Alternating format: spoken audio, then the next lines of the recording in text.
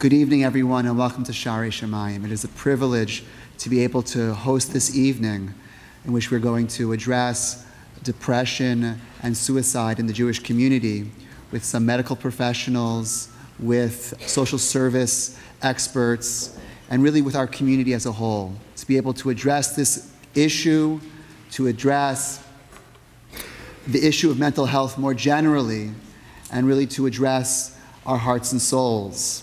But before we do that, I have some housekeeping matters to attend to. So, number one, I'd like you to turn your cell phones to vibrate or to silent if you have not already done so. I'd like to inform you that this event is being videotaped. However, even though it is being videotaped, you should be aware that uh, we've instructed uh, the videographer to focus only on our speakers and that um, the attendees and the audience will not be filmed during the course of the presentation. There will be question and, and answers at the conclusion of this evening that you'll be able to pose to our, panel, to our panelists. And in the interest of efficiency uh, and also to respect the privacy of those who have questions to ask, there will be volunteers going around with cards and pens for people to write their questions uh, during the course of the presentations. In the foyer and the lobby of the synagogue outside these doors to the south, there are a number of nonprofit mental health organizations that are available and that are, are uh, positioned to distribute literature and brochures and to talk to audience members after the program about services that are available in the community. I want to thank our partners, Beth Tzedec, Mount Sinai Hospital, Camp Ramah, Jewish Family and Child Services, and UJA Federation for their help in creating this event. We say in uh, Pirkei Avot, Ezehu chacham halomed mikol adam. Who is the person who is wise? The person who learns from every person. We are here this evening to learn. We are here this evening to help and to seek help. And we are here this evening to talk. As we learn, we appreciate not only the wisdom of being able to see wisdom in every person, but we also appreciate that this sentence in the ethics of our fathers tells us something about humanity. There is no person who is empty of wisdom. Each of us, not just despite our struggles, but often because of our struggles, have something unique to teach. Each of us has an approach to wisdom, an approach to humanity, an approach to life from which we can all learn. And it's with that thought that I'd like to introduce Rabbi Baruch Frydman-Kohl, one of the great teachers of our city. I can speak of him as a wonderful colleague and a great pastor a person who has led a community which is sensitive to issues of mental health, and really a person from which we can, a person from whom we can learn so much. Rabbi Baruch Frydman-Kohl.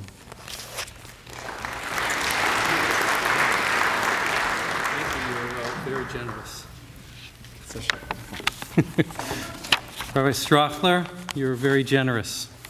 Um, Rabbi Chessis, uh, distinguished panelists, and all of us honored guests. Thank you really for joining us. And I'm personally grateful to Shaarei Shomayim, uh, to its rabbis and volunteers, to the Beth Tzedec team, to Camp Ramah, to Mount Sinai, for organizing this very important, very timely event. I speak as someone who was raised by a single mother who was occasionally hospitalized for her own mental illness. And as an adult who remembers my shame and my anxiety created by the uncertainty of my mother's instability. I hope that this evening will be part of a community effort to bring mental illness, depression, and suicide out of hiding, so that we can help the children and parents who struggle against what often feels like overwhelming strain and pain. Tonight, I want to tell you five stories. Three are from the Tanakh, the Bible. One is from the play Night Words, um, and the last is from the Talmud. Chana. Every Rosh Hashanah we read of Chana, one of Elkanah's two wives, who was unable to bear children. And the book of Shmuel tells us that Chana wept and would not eat. Her husband Elkanah somehow doesn't get it. And he says to her, Chana, why are you weeping? Why don't you eat? Why is your heart sad? Am I not more to you than ten sons? Lama tivki, velama lo tochli, velama yera levavach, halo anochi tovlach me'asara banim. And then we are told that when Hannah went to worship in Shiloh, Vihim marat nefesh, vatitpalel al Hashem uvacho tivkeh. She was deeply distressed and prayed to the Eternal and wept bitterly. A second story that you know Yonah. Every Yom Kippur, we read of this prophet who was disturbed by God's directive to go to Nineveh and to call upon them to turn and change their ways. So Yonah flees, sails away, and goes down, down, descending to the bottom of the boat. And those of you who know Hebrew, listen and you'll hear a word resonate. Vayered Yafo, Vayimtsa Onia, Ba'a Tarshish, Vayiten Schora, Vayered Ba, Lavo imahem Tarshisha, Milifnei Hashem. He went down to Yafo and found a ship going to Tarshish. So he paid his fare and went down below to go with them to Tarshish away from the presence of the eternal. During the storm, the sailors jettison whatever they can to try to save the ship. And Yonah, where was he? V'Yonah yarad yarketei asfina, vayishkav vayiradem. Yonah went down into the hold of the ship, lay down, and slept. The captain of the ship calls out, he says, Wake up, get up, pray to your God. He and the sailors draw lots to determine who might be responsible for the calamity. And Yonah is selected. And what does he say? Vayomer alehem, Sa'uni vahatiluni el hayam. Pick me up, throw me into the sea for he really doesn't believe that his life has any value. Eventually, he does go to Nineveh. He does call on the people to turn and repent. He is both successful and frustrated. He sulks on the outskirts of the city. And what does he want? Vayomer tov moti mechayai. It's better for me to die than to live. Third story King Saul. Chosen as king, he actually initially hides to avoid being crowned. And whether he's shy or modest, initially, Saul doesn't live like a monarch. He remains at home, he plows his own fields. And by the time David enters the picture, Saul has begun to suffer fits of depression. His advisors recommend music, and a young David comes to play the harp. After David vanquishes the Philistines, the giant Goliath, Goliath, after a victorious battle, Saul attempts to kill David by throwing a spear at him. And Saul develops elaborate plans to have David killed. Again and again, after attacking David, we see David flees. And even Shaul's son, Jonathan, Jonathan, recognizes there's something not right with my father. He confronts him. And Saul accuses Jonathan of being allied with David. And he throws a spear at his own son. Again, Saul goes out, Shaul goes out to hunt David. But he also sort of almost whines to his followers All of you, you have all conspired against me. Saul alternates from this kind of murderous behavior to pleas full of tears for forgiveness. And in the end, Shaul HaMelech, the king, defeated in battle, falls onto his sword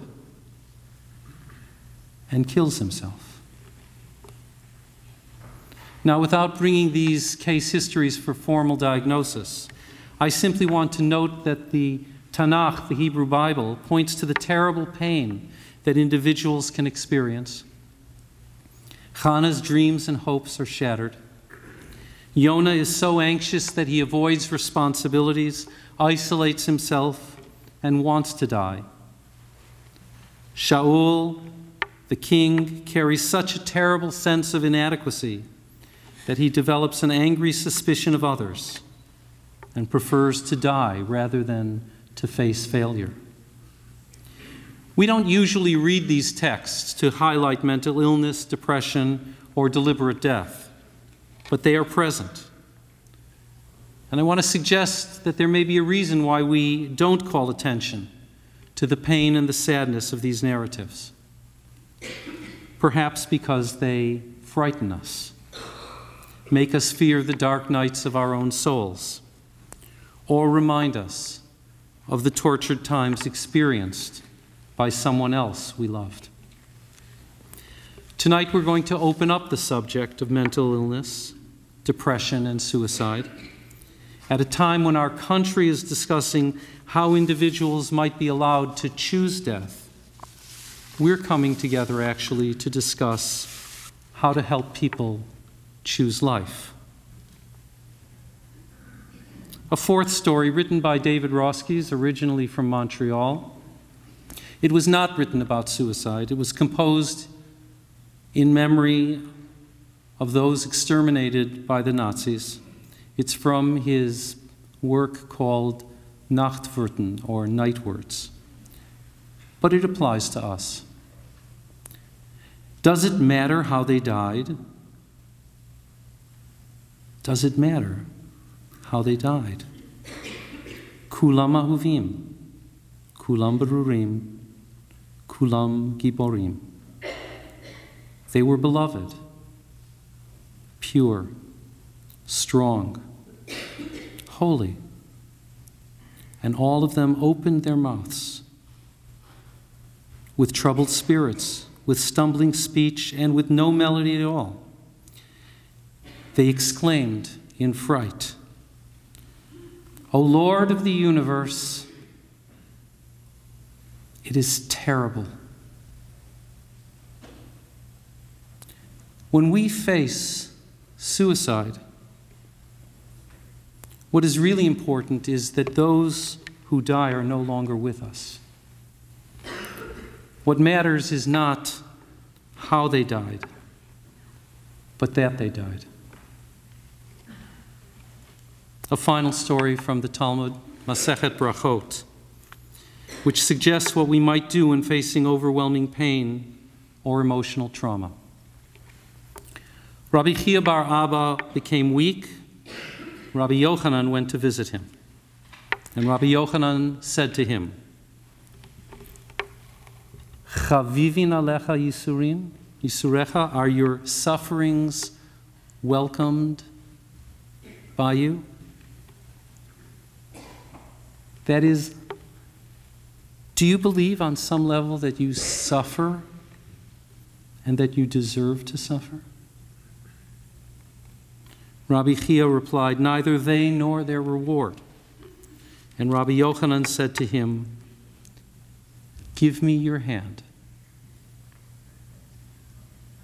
He gave him his hand and raised him up.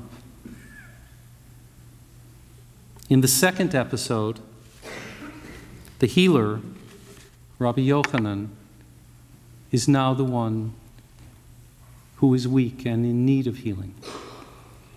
Rabbi Yochanan became weak. Rabbi Hanina went to visit him, and Rabbi Hanina asked, Do you welcome your sufferings? And Rabbi Yochanan responds, Neither they nor their reward. Rabbi Hanina said to him, Give me your hand. And Rabbi Yochanan gave him his hand, and Rabbi Hanina raised him. And the Talmud asks, So why couldn't Rabbi Yochanan raise himself? After all, he's a healer. Why does he need another person? And the Talmud replies that the prisoner cannot release himself from jail. In each vignette, the healing comes in two stages. First, by a recognition on the part of the person suffering that the pain is unwanted, unwarranted, undeserved. And second, from the hand of a friend that reaches out to offer support and raise up, lift up the one who is downcast, depressed, and despondent.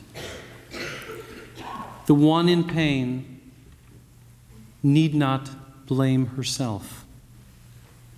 And at the same time, we need others who recognize our trauma and care enough to reach up, reach out, and raise us up. Tonight, we're going to talk about what goes on in the mind of a person who suffers and how we as individuals and a community can break that stigma, recognize the problem, and reach out, giving our hands and our hearts to offer healing and support. Thank you.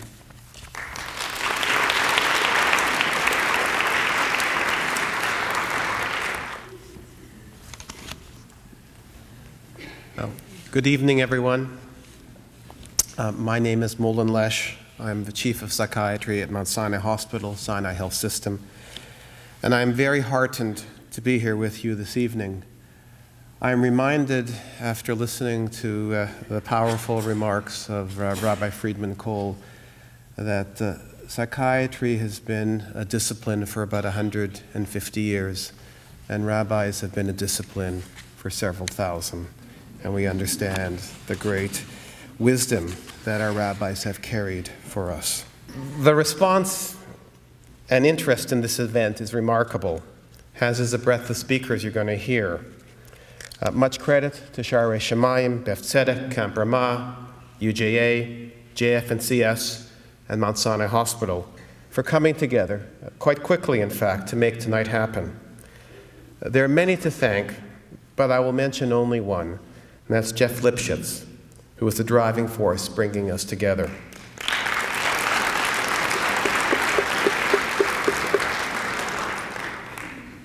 There is so much to address, and we will not do it all tonight. So, best we look at this evening as a good beginning with more to follow. The format is that you'll hear a series of presentations and subsequently a panel at which point in time we will address questions from the audience. There's a basket right in the middle of the room, And if you have questions, please insert them there. They'll be brought up to me, and I, as moderator, will select the questions that I think give us the best diversity and best opportunity to respond.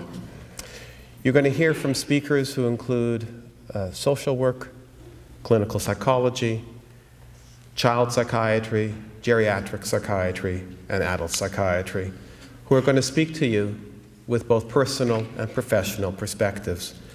And outside, as has been mentioned, there are a number of organizations uh, who have information that may be of relevance for you.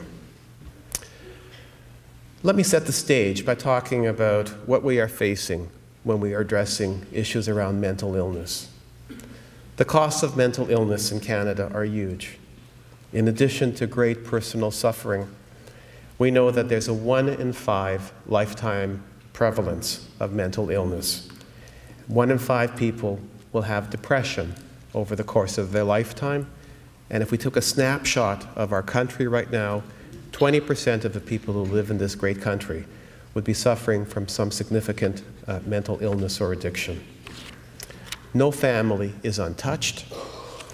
The cost to our society is over $30 billion a year, and we lose 35 million workdays annually because of depression.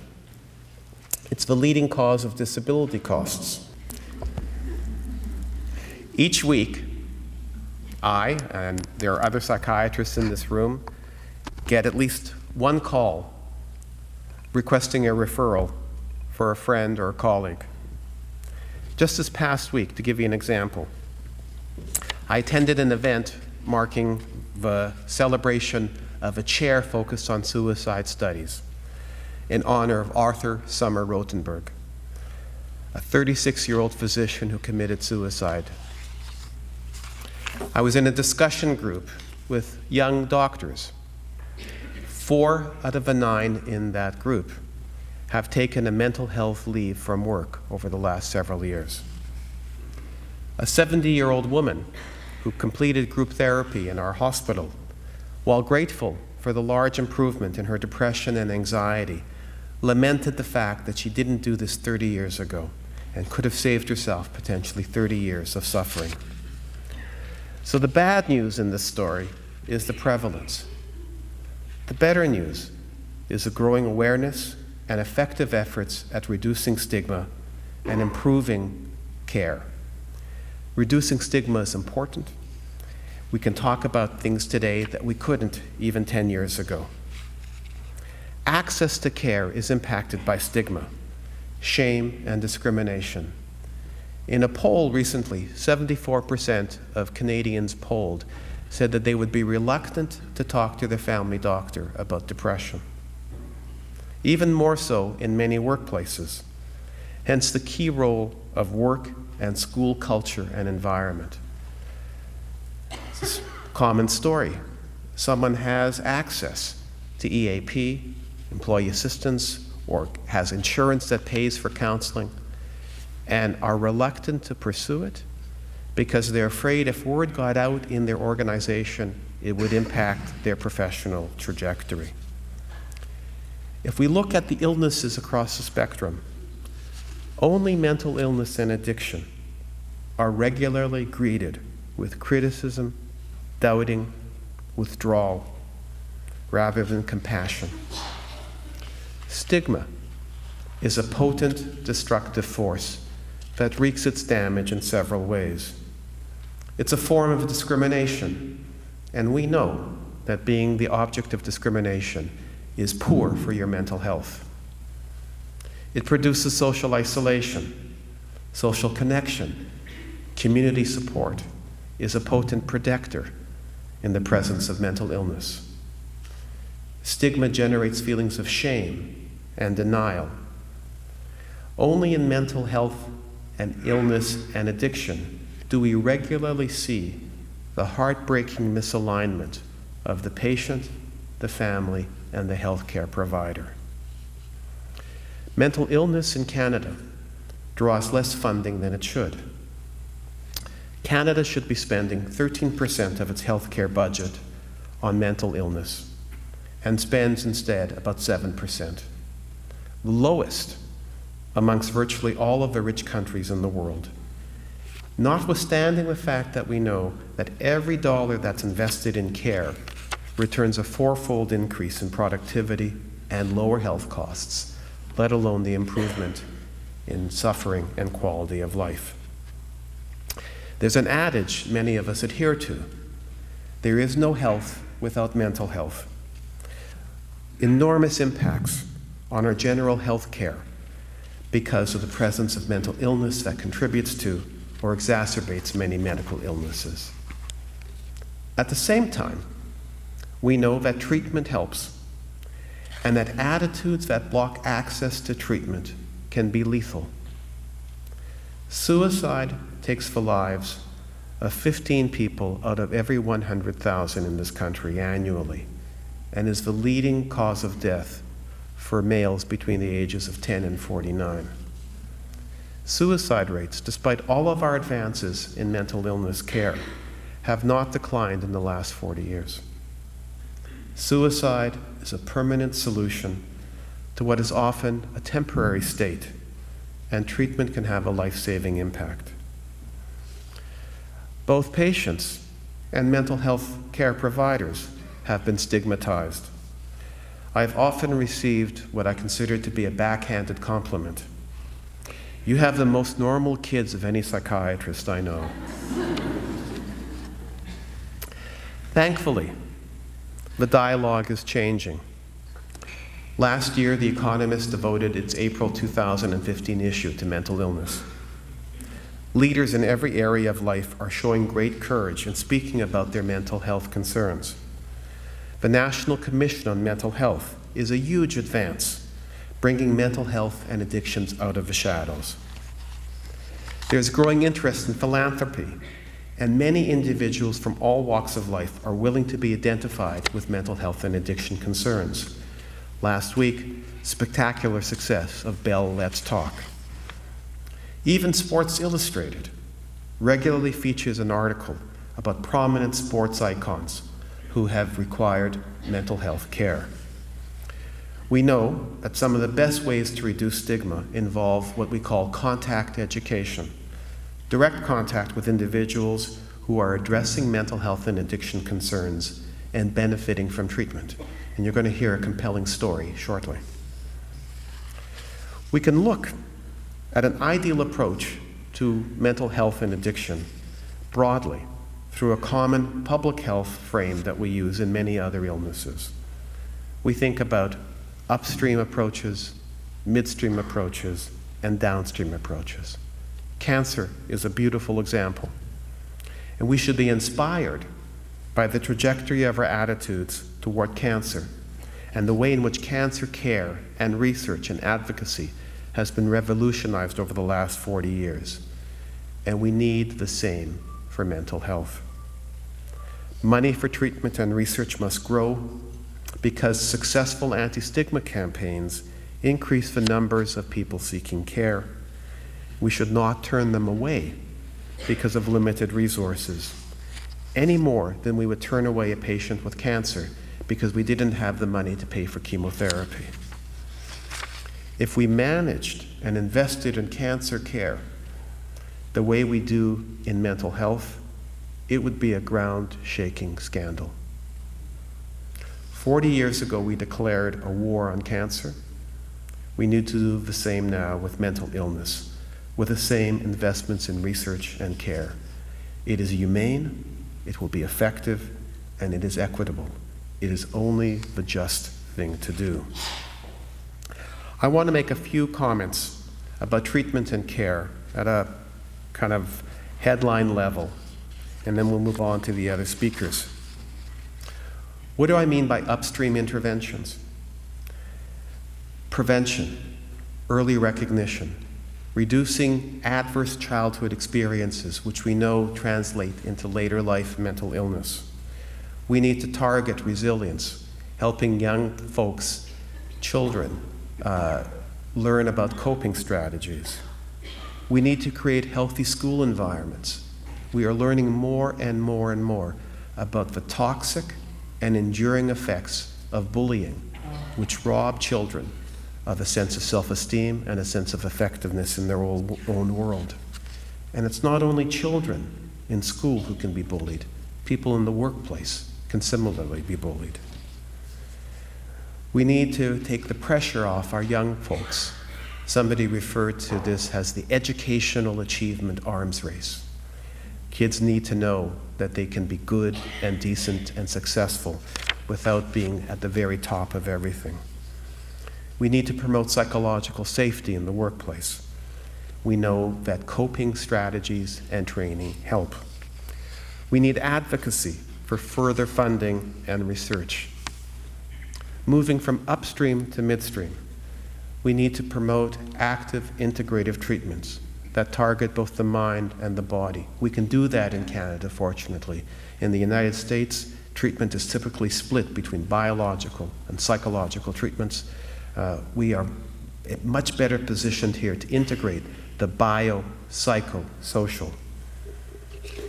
We have a range of effective biological treatments, a range of effective neuromodulation treatments, including, dare I say it, electroshock therapy, which is the most effective treatment we have for severe depression, but is so badly stigmatized in the public eye that it is underutilized. We need access to psychological therapies both face to face and on the internet. More and more evidence shows that uh, the internet can be a tremendous resource if it's used wisely and there's an opportunity for consultation about its impact. I'm very glad that at the beginning of the evening today we heard from Rabbi Frydman-Kohl and Rabbi, Rabbi Strauchler because the spiritual dimension is also an important part of care. We need peer support, support for families, reduces isolation, helps mobilize coping, and so on. And finally, downstream, we need a commitment to provide continued care, the maintenance of care. All too often, people begin to respond to depression and then discontinue the antidepressants because they're uncomfortable with the side effects or they feel that they are out of the woods. We know that if you do not treat depression for the entire duration of its natural course, which is typically six to nine months, you're going to have a recurrence. Every recurrence increases the likelihood of another recurrence. And if you have three recurrences, then without treatment, guaranteed you're going to have a fourth. The earlier we access treatment, the better. Continue treatment to completion Important to remember that mental health and addiction are real and they are treatable, as you will hear more about in a moment. The kind of dialogue we are generating tonight will advance care and access, foster knowledge, education, support, and hope. It is my pleasure now to introduce to you Danielle Berman, and I'll tell you a little bit about her before I call her up.